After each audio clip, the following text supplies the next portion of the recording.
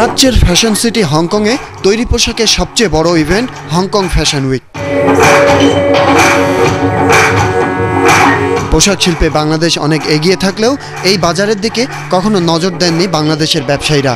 হংকংয়ের গার্মেন্টস ফেয়ারে চীন, তুরস্ক, ভারতের মতো জায়ান্টদের পাশাপাশি বাংলাদেশের অবস্থান নগণ্য মনে হলেও আসার কথা শুনিয়েছেন বাংলাদেশের ব্যবসায়ীরা। প্রোডাক্টের ব্যাপারে খুবই পজিটিভ কারণ এখানে আরও ইন্ডিয়া থেকে এবং শ্রীলঙ্কা থেকে এসেছে।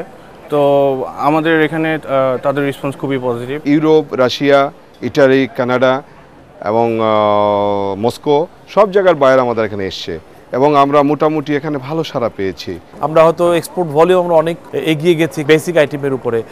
ফ্যাশন ডাইভার্সিফিকেশনে যে আমাদের এখন মনোযোগ দেওয়া দরকার এই ধরনের মেলায় অংশগ্রহণ করার পরে আমার মনে হয় সেই দৃষ্টিটাও আমাদের উন্মোচিত হয়েছে। বাংলাদেশের তৈরি পোশাক নিয়ে আশাবাদী সেদেশের ব্যবসায়ীরাও।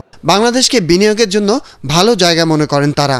Bangladesh has been doing so well in attracting new investors Bangladeshi people are very industrious they are to learn and I think in Dhaka alone there's good concentration of skilled workers আয়োজকরা মনে করছেন এই মেলার মধ্য দিয়ে Hong Kong ও বাংলাদেশের ভেতর বাণিজ্যের নতুন সম্ভাবনা তৈরি হয়েছে। More Bangladeshi companies coming to Hong Kong to use a platform whether it's in garments, in fashion, or in other gifts, even food products. You're at the crossroad between South Asia and ASEAN. To articulate more that geographical location and your competitiveness. And you need, you need to articulate the advantage. You need to broadcast it to your main stakeholders around the world.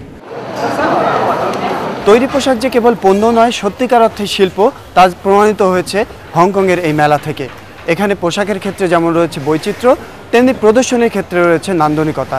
এই নান্দনিকতার স্বাদ নিতে সারা বিশ্বের তিরিশটিরও বেশি দেশ থেকে এখানে জড়ো হয়েছেন পনেরো হাজারেরও বেশি ক্রেতা। আর দিনভর উপচে পড়া দর্শক এই মেলাকে পরিণত করেছে একটি উৎসবে। Sanaul Haque, ATN Bangla, Hong Kong convention centre, Hong Kong.